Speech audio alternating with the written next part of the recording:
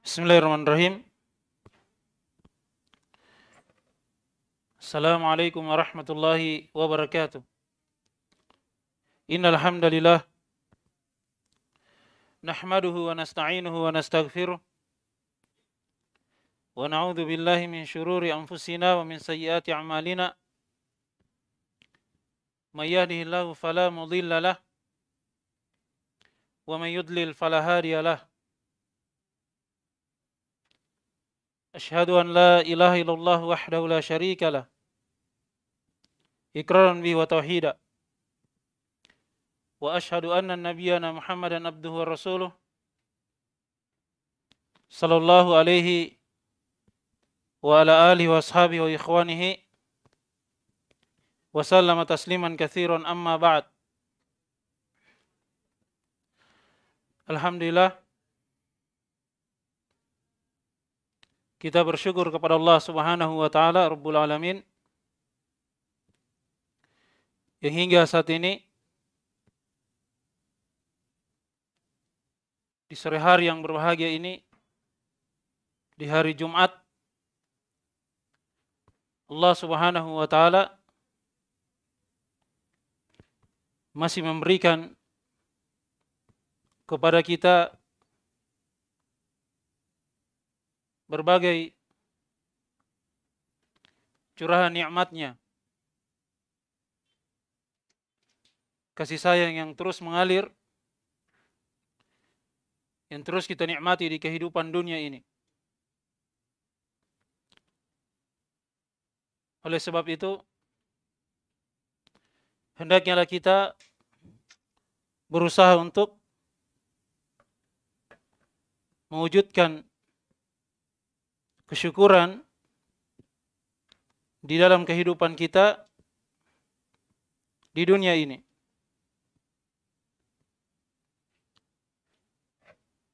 Dan Alhamdulillah pada kesempatan sore hari yang berbahagia ini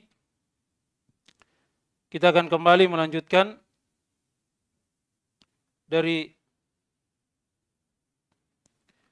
kajian rutin kita Asbabu Sa'adatil Usra. Udah terdengar enggak? Udah terdengar? Kalau ini sama ya? Coba saya.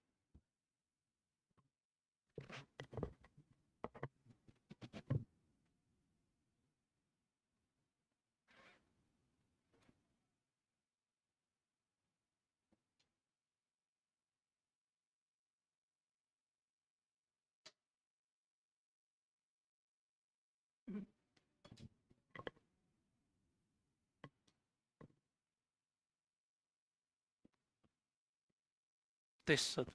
Ya.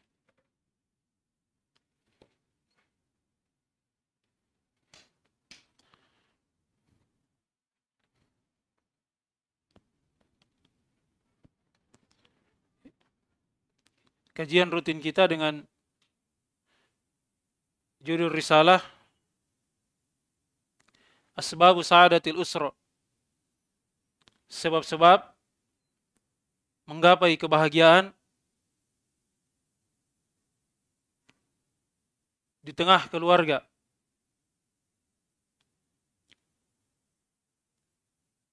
Risalah ini adalah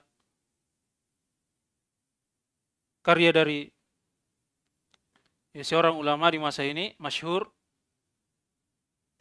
Syekh Sulaiman Ruhaili, hafidhahullah ta'ala.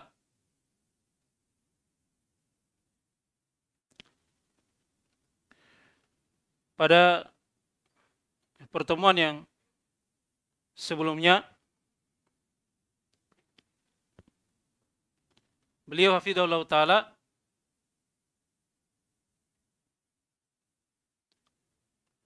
mengingatkan kepada ya kita seluruhnya yang membaca yang mempelajari dari risalah ini bahwa kebahagiaan di tengah keluarga itu bukan dengan menyibukkan diri memperbanyak dari harta sehingga melupakan keluarga. Tidak ada kesempatan untuk berkumpul bersama mereka.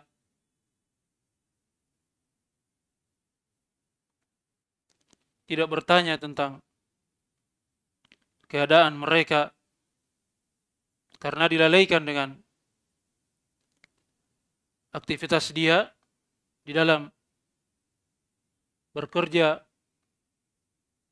mengumpulkan harta karena yang dia pikirkan bahwa dengan mengumpulkan harta itulah letak kebahagiaan di tengah keluarga. Hal ini telah diingatkan oleh beliau hafizahullah taala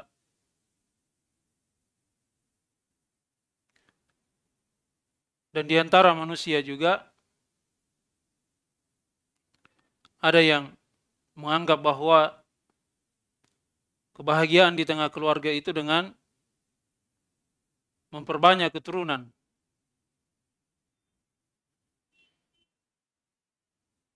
Hanya sebatas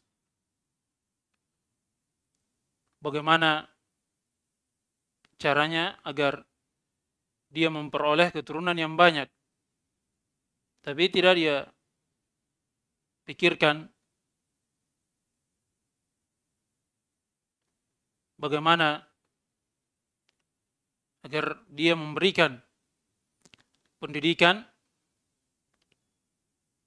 kepada putra dan putrinya. Dan ini juga telah diingatkan oleh beliau, Hafidhullah Ta'ala. Kemudian kata Syekh Sulaiman Ar-Ruhaili hafizallahu taala wa katsirun minan nisa atau wa katsirun minan nas dhanna anna sa'adata fi jami' al-malahi fil buyut fa'ata lisratihi bi anwa'il malahi. Yuridu ayus'idahum bi dhannihi fama haqqaqa sa'adah Ida sa'adatu rahatul qalbi wa tuma'ninatuhu wa amnuhu wa sururuhu wa zawalu humumihi wa humumihi wa irtiyahul insan liman yushariku hayatahu fi baitihi. Kebanyakan dari manusia ini dia menyangka bahwa kebahagiaan itu dengan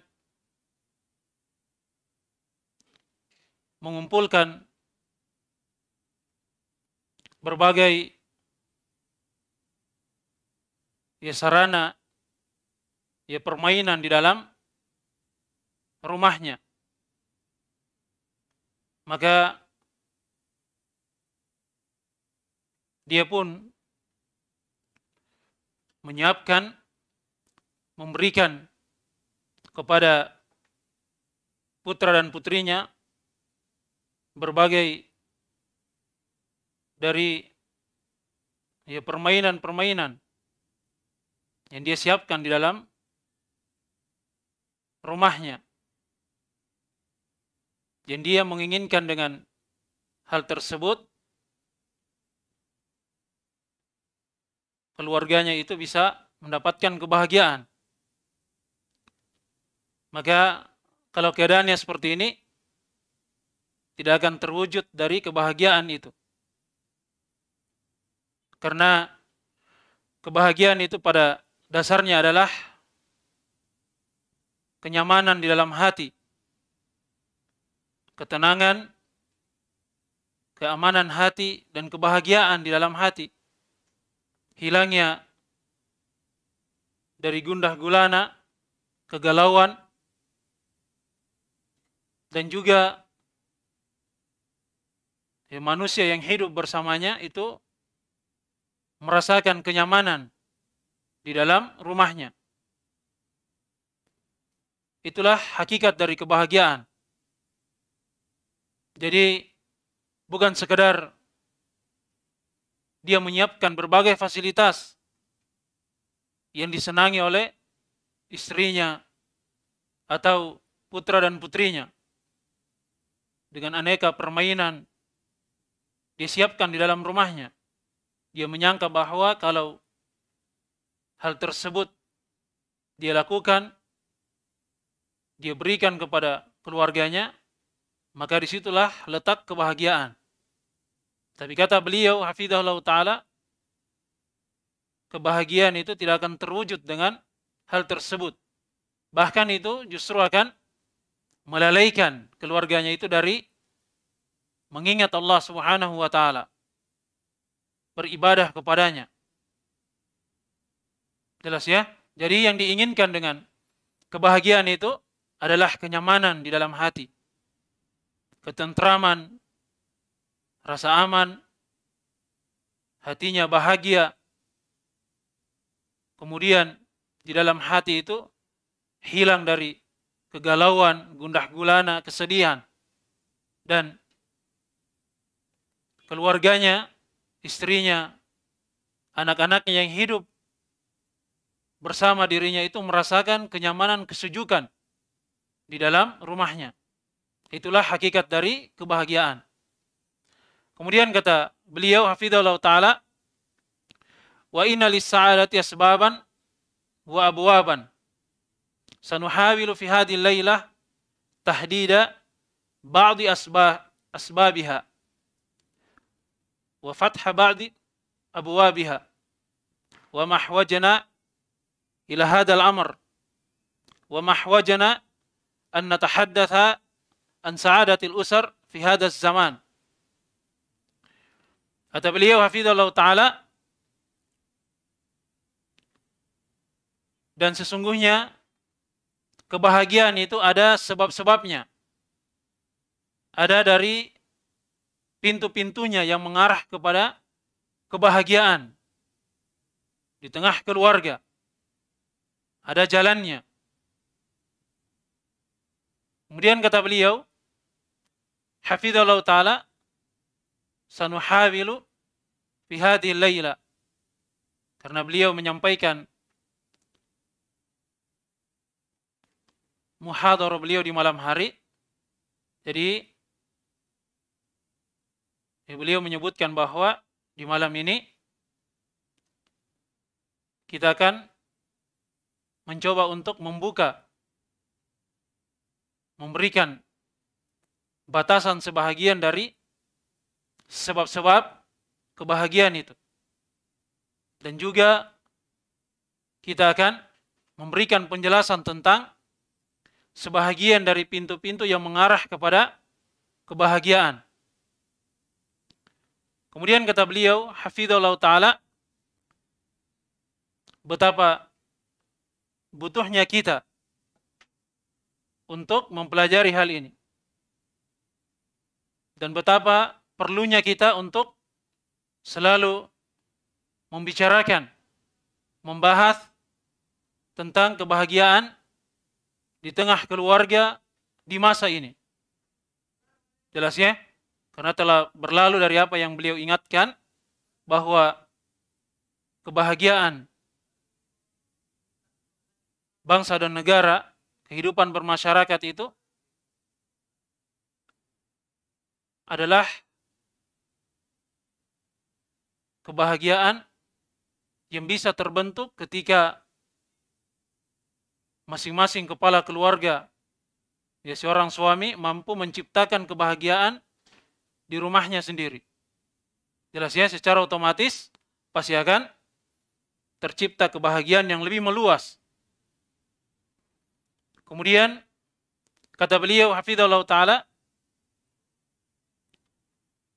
di masa ini, di zaman ini, alladhi kathurat fihi al-mulhiyat. Banyak tersebar dari hal-hal yang melalaikan. Oleh sebab itu penting bagi kita seluruhnya, apalagi ketika kita sudah menikah, kita menjadi kepala keluarga, kita sebagai suami yang memiliki tanggung jawab terhadap kehidupan dari istri dan anak-anak kita, maka kita butuh untuk mempelajari dari sebab-sebab yang bisa mendatangkan kebahagiaan di tengah keluarga kita. Seluruhnya kita memiliki keluarga. Baik yang tua ataupun yang muda. Setiap dari kita memiliki keluarga. Keluarga kecil atau keluarga besar. Jelas ya? Dan ketika kita menjadi kepala keluarga, maka ini merupakan tanggung jawab bagi kita agar kita menciptakan kebahagiaan di tengah keluarga kita. Apalagi di masa ini tersebar mudah didapatkan dari perkara-perkara yang bisa melalaikan. Walaupun anak dan istri kita tidak keluar dari rumah, tapi mereka bisa mendapatkan sesuatu yang bisa merusak agama, akal, adab, akhlak mereka. Jelas ya? Maka ini adalah hal yang amat penting bagi kita seluruhnya untuk selalu belajar dan mengingatkan kepada anggota keluarga kita. Kata beliau, hafizallahu taala, wa asbaha afradul usrati yattajihuna ila ayan ghalika kullu wahidin minhum fi alamihi al khas ghazal internet buyutana wa asbaha ba'dul azwaj munghalikin fi buyutihim ala hadal jihaz ini realita kenyataan yang terjadi di saat ini jelas ya masing-masing dari anggota keluarga itu mereka memiliki alam yang khusus. Ada kesibukannya sendiri-sendiri. Padahal di dalam rumahnya. Mereka berkumpul tapi suaminya ada dunianya sendiri. Istrinya juga demikian. Putra dan putrinya juga demikian. Masing-masing memiliki kesibukan sendiri, ada dunianya sendiri sehingga tertutup untuk saling berkomunikasi. Itu yang terjadi. Jelas ya? Apa penyebabnya? Internet itu telah menyerang dari rumah-rumah kita. Sehingga sebagian dari pasangan suami istri itu menutup diri di rumah-rumah mereka sendiri. Pada alat yang mereka pegang. Ada dunianya masing-masing, ada saluran internet yang mereka sibukkan diri mereka dengan alat tersebut. Sehingga jarang terjadi komunikasi antara dia dengan suaminya, antara dia dengan anak-anaknya dan sebaliknya. Wa asbaha al-abna yabta'iduna bihi an walidihim. Sehingga anak-anak itu menjauh dari kedua orang tua mereka disebabkan karena kesibukan mereka. Tidak ada kepedulian untuk saling berkomunikasi, untuk saling mengingatkan tentang perkara agama, ibadah ketaatan kepada Allah Subhanahu wa taala. Akhirnya ya seorang suami dia lupa mengingatkan kepada istrinya untuk kewajiban sholatnya, ibadahnya, karena sibuk dengan dunianya sendiri. Istri juga demikian, tidak sempat untuk bertanya kepada suaminya. Anak-anaknya juga demikian. Tidak terjadi komunikasi di antara mereka. Ayahnya tidak pernah memberikan nasihat kepada putra dan putrinya untuk memperhatikan ibadahnya, sholatnya. Jelas ya? Bagaimana mereka belajar untuk membaca ayat suci Al-Quran itu tidak lagi diperhatikan. Karena masing-masing memiliki kesibukan pada alamnya sendiri-sendiri. Wa minan nas man asbaha munghaliqan ala nafsihi biqanawatihi. Fahada ala qanatin wa dhaka la yuhibbuha fayashtaruna lahu, lahu jihazan akhar yajlisu alaihi. Dan di antara manusia ada yang menutup dirinya dengan ya, saluran internet tertentu ini di dalam rumahnya. Ada istrinya. Ada anak-anaknya. Karena dia mencintai satu saluran tertentu dia duduk di hadapan televisi misalnya, karena anaknya tidak senang, misalnya mungkin ayahnya nonton berita, ibunya mungkin nonton apa namanya hal-hal yang merusak seperti sinetron dan hal-hal yang lainnya, anaknya tidak senang dengan hal itu. Sehingga akhirnya mereka pun membelikan hal yang khusus untuk anak-anaknya. Jadi di dalam rumah itu terpecah disebabkan dengan kesibukan mereka di dalam menonton TV atau bermain game atau internet. Masing-masing punya saluran sendiri. Jelas ya? Akhirnya dia pun duduk di hadapannya tanpa ada komunikasi. Wahakada Demikian. Itulah yang terjadi. Fataba'adat al-usratu dakhila baitihi. Maka keluarga itu pun saling menjauh. Padahal mereka itu masih hidup satu rumah. Karena masing-masing punya alam sendiri-sendiri, kesibukan sendiri-sendiri akhirnya mereka pun saling menjauh. Padahal masih dalam satu lingkup keluarga, satu keluarga satu atap. Jelas ya? Fadlan antaba'udil mujtami' fi tarihil am. Terlebih lagi untuk hal yang lebih luas dalam artian kehidupan bermasyarakat pada alam yang lebih umum maka pasti akan saling menjauh karena masing-masing memiliki kesibukan sendiri-sendiri Jangankan untuk saling berkomunikasi antara dia dengan tetangganya. Menjalin hubungan antara dia dengan tetangga yang lainnya. Hidup bermasyarakat. Dia saja dalam rumahnya sudah saling menjauh dengan anggota keluarganya yang lain. Jelas ya? Kemudian kata beliau, wa asbaha kathirun minna yash'uruna bil gharbati fi buyutihim. Dan kebanyakan dari mereka yang hidupnya seperti itu merasa asing di dalam rumah mereka sendiri. Wahasal al-jafaf fi ilaqati zawjaini bi ba'dihima wa ilaqati al-walidaini bil abna. Wa ilaqati al-abna bi walidayhim wa ilaqati al-ikhwa fima bainahum. Famahwajana ma'asyiral fudala ila an natahaddatha an asbabi sa'adatil usra. Sehingga terjadi hubungan yang retak.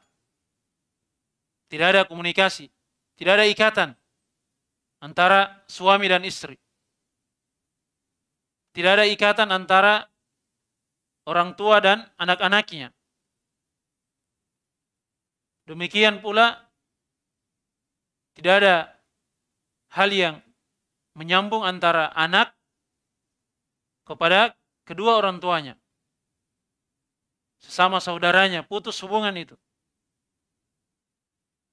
Maka betapa butuhnya kita, wahai sekalian saudaraku yang mulia, untuk kita selalu membahas, mempelajari dari sebab-sebab kebahagiaan di tengah keluarga. Ini dari hal yang banyak terjadi di rumah-rumah kaum muslimin. Jelas ya?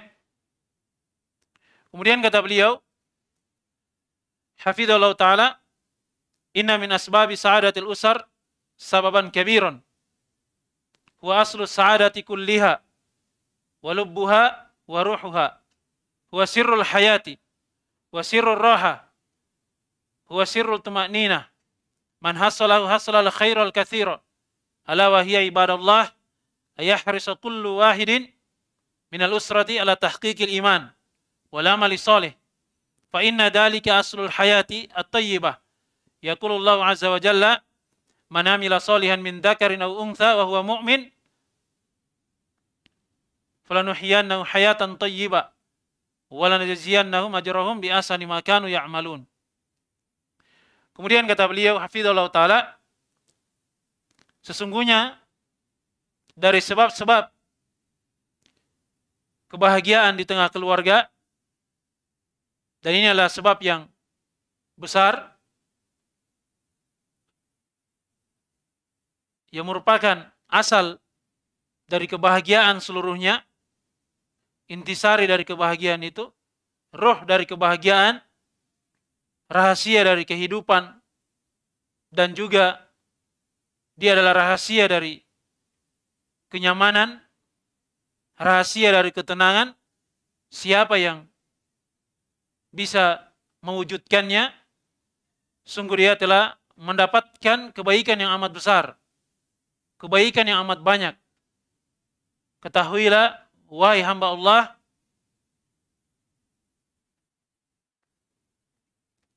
yang hendaknya setiap dari kita yang memiliki keluarga untuk bersemangat.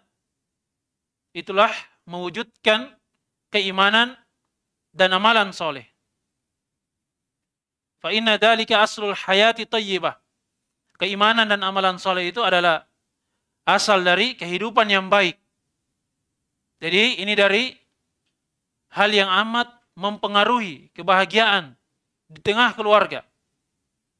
Dia adalah intisari dari kebahagiaan. Ruh dari kebahagiaan. Rahasia dari kehidupan. Rahasia dari kenyamanan, ketenangan, ketentraman. Ini adalah kebaikan yang amat banyak. Itulah amalan soleh dan keimanan. Ini merupakan asal dan pondasi dari kehidupan yang baik. Kehidupan yang penuh dengan kebahagiaan. Allah Azza wa Jalla berfirman, Man amila solihan min dakarin au untha Siapa yang beramal dengan amalan yang soleh, baik dia seorang lelaki ataupun wanita, wahwa mu'min, dan dia dalam keadaan beriman, maka kami akan memberikan kehidupan untuknya dengan kehidupan yang baik di kehidupan dunia ini, kehidupan yang bahagia. Dan juga kami akan memberikan balasan kepada mereka dengan balasan yang lebih baik dari apa yang mereka amalkan di kehidupan dunia ini. Maka ini merupakan dari hal yang hendaknya diperhatikan bagi seorang kepala keluarga, ya seorang istri, anak-anak, bahwa kebahagiaan hidup itu berkaitan dengan keimanan dan juga amalan soleh. Ketaatan ibadah kepada Allah Subhanahu wa taala. Kata beliau, hafizallahu taala, "Hada syartun man yashtarituhu Rabbul alamin." Ma huwa hada asyart man amila salihan wa ma huwa al-amalu salih. Al-amalu salih ma tara sahibuhu fihi bijanahain janahil ikhlas lillah fakana mukhlisan lillahi fi amalih wa janahil mutaba'ati li rasulillah sallallahu alaihi wasallam fakana al-amalu masyru'an fi kitabillah atau fi sunnati Rasulillah sallallahu alaihi wasallam. Hada al-amalu salih. Man amila salihan min dzakarin aw untha wa huwa mu'min fahaqqaqa al-imana wal amala saliha ma'al iman ma jawabu syar wa ma jazaohu falanuhyiyannahu hayatan thayyibah wa ajrahum bi ahsani ma kanu ya'malun. Kata beliau hafizallahu taala di dalam ayat ini manamila solihan siapa yang beramal dengan amalan yang solih. Baik dia seorang lelaki ataupun wanita dan dia dalam keadaan beriman. Kata beliau ini syaratnya. Siapa yang mempersyaratkan hal itu? Rabbul Alamin, Allah Subhanahu wa taala. Apa syaratnya?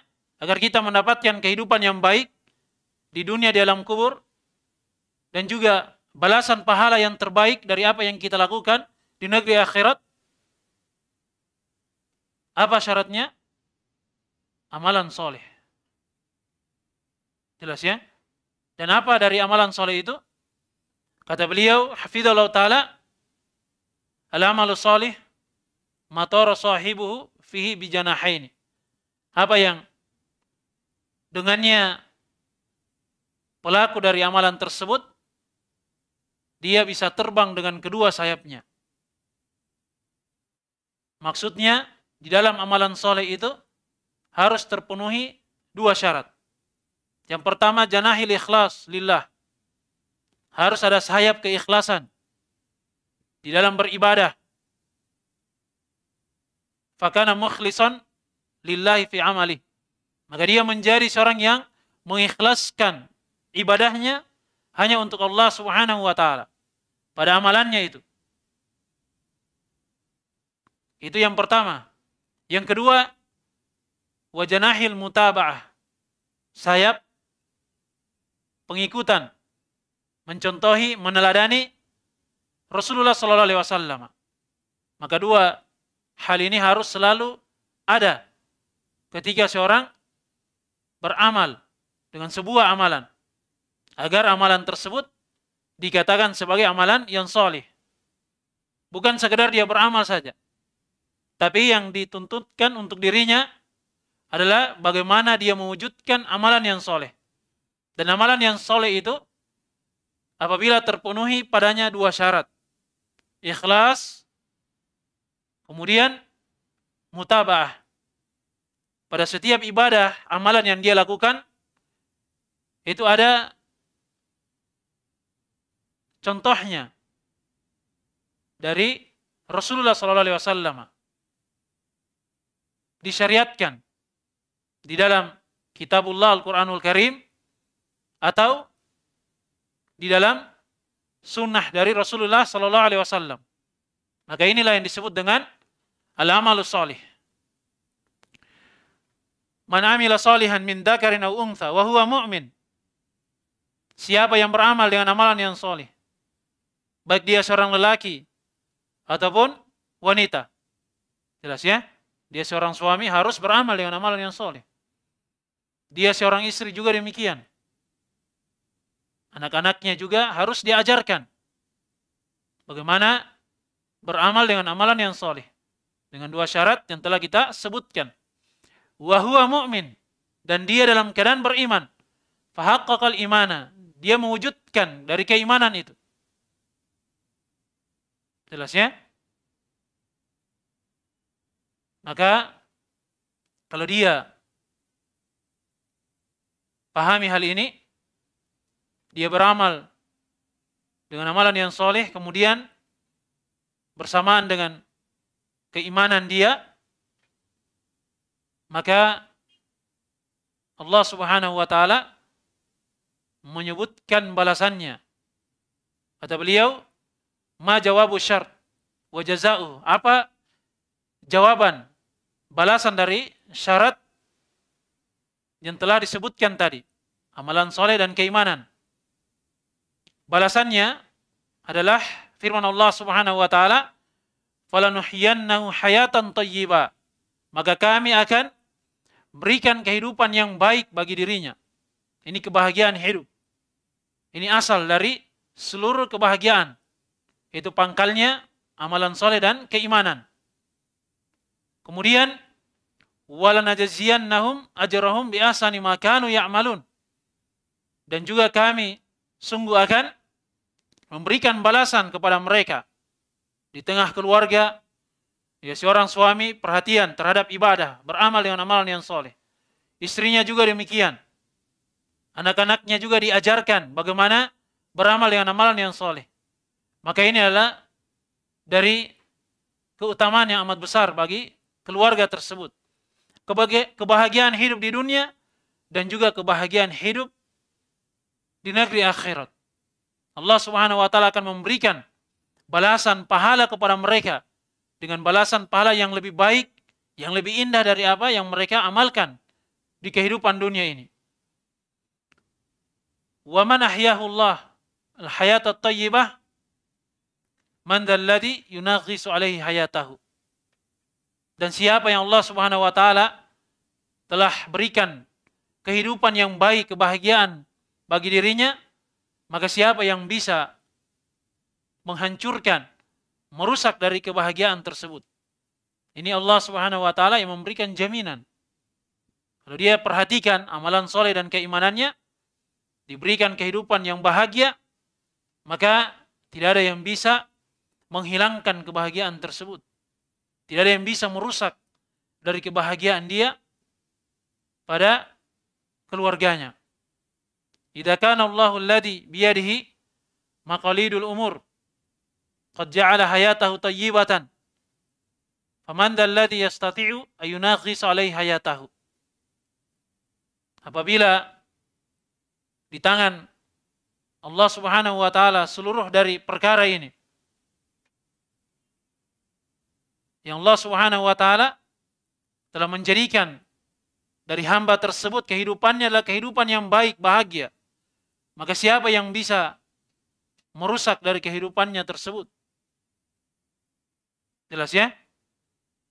Kemudian kata beliau, Lau jitama'al jin wal insu.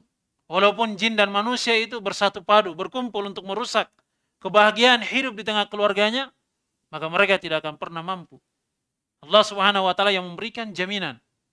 Oleh sebab itu kebahagiaan hidup, kesejahteraan, kenyamanan ketika di tengah keluarga tersebut mereka beramal dengan amalan yang soleh. Mereka memperhatikan keimanan mereka. Jelas ya? Maka di sanalah mereka akan mendapatkan kebahagiaan dari kehidupan mereka. Walaupun jin dan manusia itu bersatu padu, berkumpul ala ayunaghisu hayatahu untuk merusak, menghilangkan kebahagiaan dalam kehidupannya, maharraku fi tayyibi hayatihi syai'an. Maka mereka tidak akan mungkin bisa merusak kebahagiaan tersebut walaupun sedikit. Jelas ya? Jadi kalau ingin mendapatkan perlindungan, penjagaan, di tengah keluarganya agar selalu bahagia, nyaman, tentram, damai, tenang, maka ini dari sebab dan pintunya. Beramal dengan amalan yang soleh, kemudian perhatikan keimanan kepada Allah Subhanahu wa taala. Kemudian kata beliau, hafizallahu taala, Lianna alladhi tayyaba hayatahu Allah subhanahu wa ta'ala. Kenapa? Tidak ada yang bisa merusak dari kebahagiaan hidupnya. Karena ia memberikan jaminan dengan kebahagiaan kebahagiaan hidup adalah Allah Subhanahu wa taala. Wa al-husna fid dunya wal akhirah. Dan Allah Subhanahu wa taala yang memberikan balasan balasan yang baik balasan yang terbaik di kehidupan dunia dan di negeri akhirat. Ya jazihi bi ahsani ma amila fid dunya. Allah Subhanahu wa taala memberikan balasan yang terbaik dari apa yang telah mereka amalkan di kehidupan dunia ini. Bi antakuna hayatuhu tayyibatan. Yaitu dengan baiknya kehidupan mereka dengan kehidupan yang bahagia. Wa fil akhirati di negeri akhirat diberikan balasan biantakuna hayatahu fiha tayyibah kehidupan mereka di negeri akhirat dengan kehidupan yang baik kehidupan yang bahagia biayakuna min ahlil jannah yaitu mereka menjadi penghuni surga. Hada wa'dullah subhanahu wa ta'ala. Ini adalah janji dari Allah subhanahu wa ta'ala. Jelas ya? Kemudian kata beliau hafidhullah ta'ala man ahyahu Allahul hayata tayyibah wa razaqahu Allahul qana'ata fakana qani'an bima yahsul min khairin ورزقه الله عز وجل طمأنينة النفس. فسكنت السعادة قلبه ورفرفت في بيته وأسعد من حوله. إن وجد في بيته وممن حوله من أسرته سراء شكر وجزا من حوله بالخير. وإن وجد في أسرته في من حوله ضراء صبر وتجاوز عمن أساء من أسرته. Walaysa dalika illa lil mu'min. Kemudian kata beliau, Hafidhullah Ta'ala, Ya siapa yang Allah Subhanahu wa taala berikan kehidupan yang baik dan siapa yang Allah Subhanahu wa taala berikan rizki yang cukup padanya maka dia akan menjadi seorang hamba yang qani'an merasa cukup dengan apa yang Allah Subhanahu wa taala berikan kepada dirinya dari berbagai kebaikan. dan Allah Subhanahu wa taala memberikan rizki kepadanya dengan tenangnya hatinya. Sehingga kebahagiaan itu akan melekat pada hatinya. Dan kebahagiaan itu senantiasa akan menaungi dari rumah tangganya. Dan juga akan memberikan kebahagiaan bagi siapa yang berada di sekitarnya dari keluarganya. Kalau dia mendapatkan di tengah keluarganya, di dalam rumahnya, dan pada keluarganya dari hal-hal yang menggembirakan, syakar, maka dia pasti akan bersyukur. Wajaza man haulahu bil khairi. Dan Allah Subhanahu wa taala akan memberikan balasan kebaikan pada mereka. Wa in wajada fi suratihi wa fi man hawlahu darra. Dan apabila dia mendapatkan menjumpai di tengah keluarganya atau siapa yang berada di sekitarnya dari hal-hal yang tidak baik, bahaya, ada ujian, sobar, maka dia akan bersabar. Dia akan selalu bersabar ketika ada ujian dan cobaan di tengah keluarganya. Dan hal yang seperti ini, sifat yang seperti ini, tidaklah dimiliki kecuali dari sifat seorang mukmin saja. Nabi sallallahu alaihi wasallam bersabda ajaban li amril mu'min. Ta'ammalu ya ikhwah. Man dalladhi yata'ajjabu inna Muhammadun ibnu Abdullah. Rasulullah sallallahu alaihi wasallam ajaban li amril mu'min. Ma bihi inna amru kullahu lahu khairun. Inna sabatu sarra syakar fakana khairan lahu. Wa inna sabatu darra sabar fakana khairan lahu. Walaysa dhalika illa lil mu'min. Faman haqqaqa al-imana tahaqqaqat lahu sa'adatu fi hadzal amr al-azim.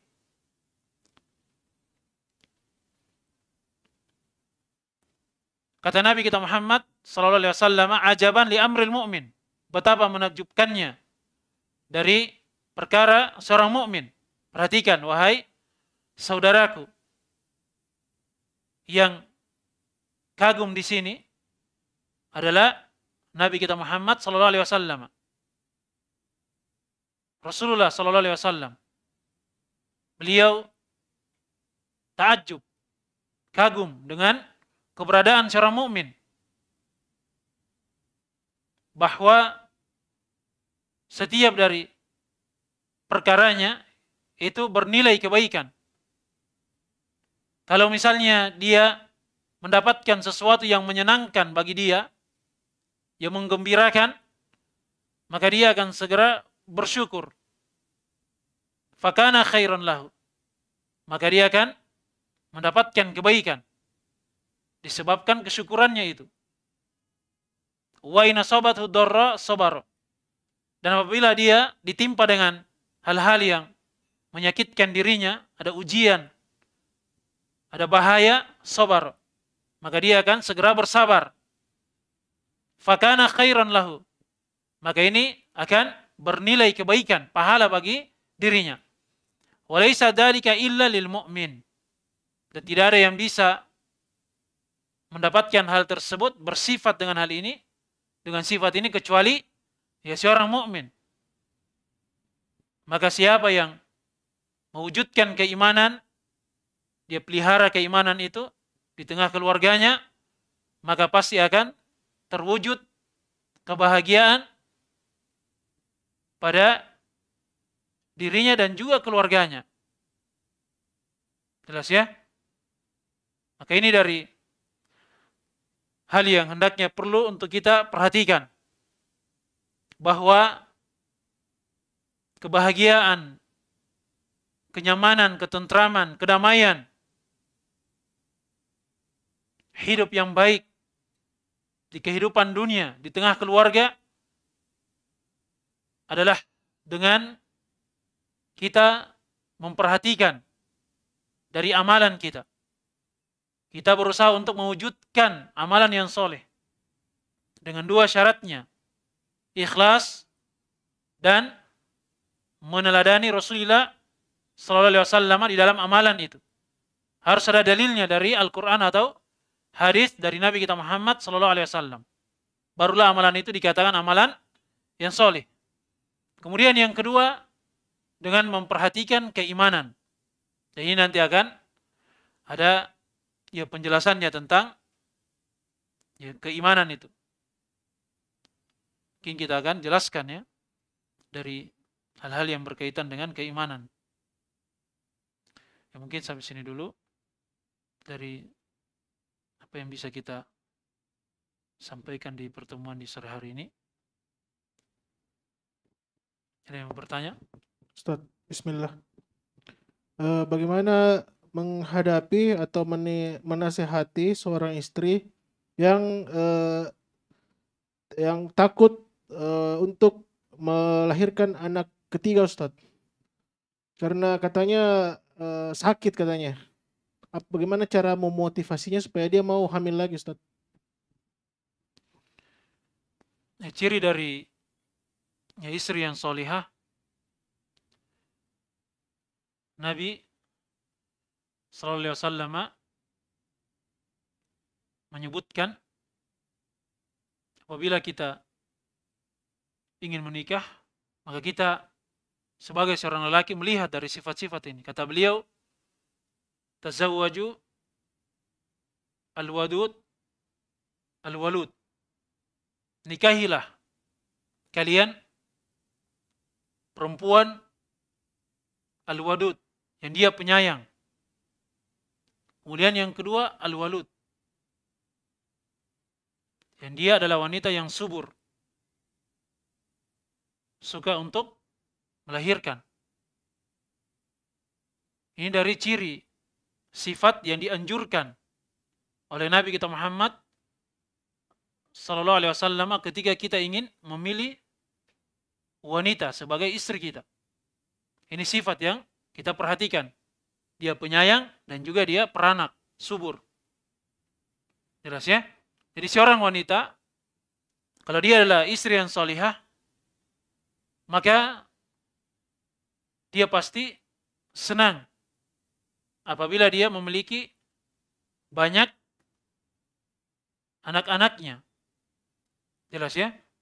Karena kalau misalnya dia memiliki banyak anak, kemudian anak-anak tersebut dia rawat, dia ajarkan, dia berikan pendidikan, pendidikan agama, maka apa yang diamalkan oleh anak-anaknya itu, itu akan menjadi amalan juga untuk kedua orang tuanya. Kalau memang keduanya itu memperhatikan dari pendidikan agama untuk anak-anaknya. Jelas ya? Kalau alasannya karena ya sakit, ya semuanya orang melahirkan sakit. Tidak ada yang tidak sakit. Jelas ya? Jadi itu bukan ya sebuah alasan untuk tidak mau melahirkan lagi. Jelas ya? Kebahagiaan ya di tengah keluarga ya juga ketika kita memiliki anak kemudian kita mampu merawat mereka, membesarkan, mendidik, memberikan pendidikan dengan baik. Itu kebahagiaan, penyejuk dari hati dan mata kita. Yang kita harapkan di negeri akhirat itu bernilai pahala di sisi Allah Subhanahu wa taala. Dengan adanya pengorbanan kita, apalagi dia seorang ibu. Banyak pengorbanan ketika dia mengandung, di saat dia melahirkan, ketika dia menyusui, dia membesarkan anak-anaknya, diharapkan ketaatan ibadah kepada Allah Subhanahu wa taala. Jangan dia berpikir hanya sekedar melahirkan kemudian setelah itu tidak ada nilai pahala yang diharapkan di sisi Allah Subhanahu wa taala. Berbeda ya dengan wanita-wanita atau istri-istri yang mereka tidak berpikir bahwa ketika mereka melahirkan itu ada pahala yang mereka harapkan di sisi Allah Subhanahu wa taala. Yang ada di pikirannya cuma rasa sakit, susah mengurus anak, repot, banyak waktu yang terbuang, tidak bisa bebas lagi. Jelas ya, hal-hal yang seperti ini itu bukan sifat dari ya seorang istri yang solihah. Mungkin juga Kenapa istri biasanya berpikir seperti itu? Karena biasanya suami juga kurang membantu, kurang memperhatikan istrinya. Dia biarkan istrinya urus anaknya sendiri. Kalau di saat-saat mengandung dia biarkan saja begitu saja tanpa dia perhatikan. Di saat melahirkan juga tidak ada perhatiannya atau kurang perhatiannya. Maka ini akan menambah beban bagi wanita itu akhirnya mereka trauma untuk melahirkan untuk yang ketiga kalinya atau yang berikutnya. Jelas ya? Jadi harus ada saling pengertian di dalamnya. Ya saya kira itu yang bisa kita jelaskan. Ya semoga ada manfaatnya bagi kita seluruhnya.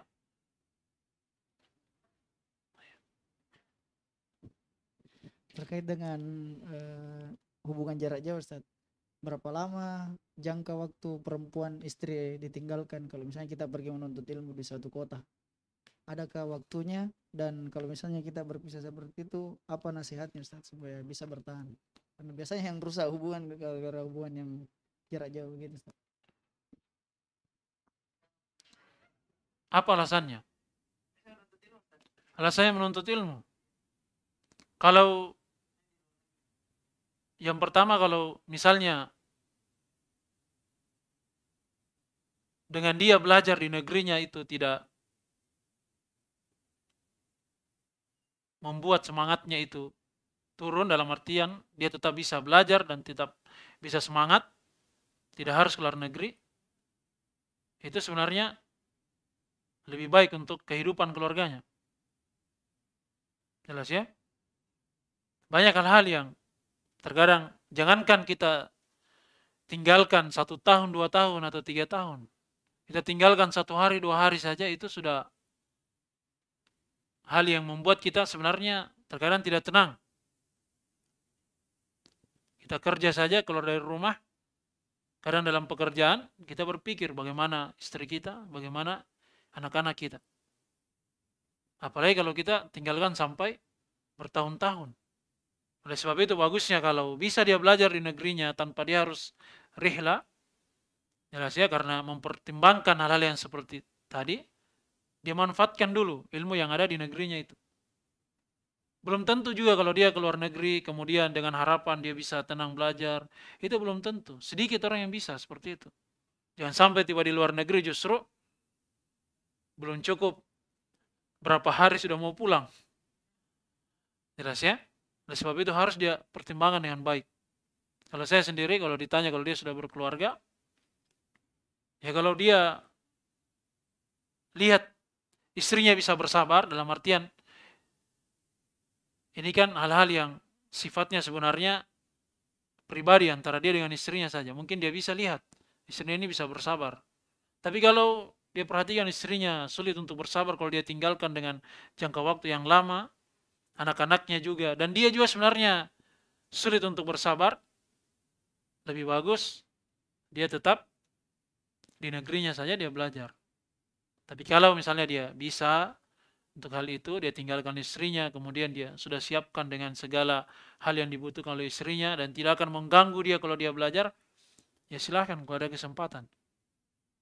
Jelas ya? Tapi itu tadi yang lebih bagus seperti itu. Dia belajar saja dulu di negerinya. Banyak dari para ulama juga yang tidak keluar dari negerinya. Mereka belajar saja di tempatnya masing-masing. Seperti Imam Malik rahimahullah ta'ala, beliau belajar di Madinah saja. Tidak keluar-keluar. Jelas ya? Oleh sebab itu kalau ingin belajar, dia pertimbangkan hal-hal yang seperti itu. Itu kalau sudah menikah. Memang berat. Jangan sampai di Indonesia semangatnya meluap-luap tiba di sana baru tiba ditelepon dengan istrinya nah sudah sambung lagi dengan anaknya sudah tidak tenang yang ada belajar cuma melamun bagaimana dan istri di rumah ini itu dikhawatirkan seperti itu. Ya, jadi itu harus dipertimbangkan. Ya sekira ini. Ya subhanakallah bihamdik. Assalamualaikum warahmatullahi wabarakatuh.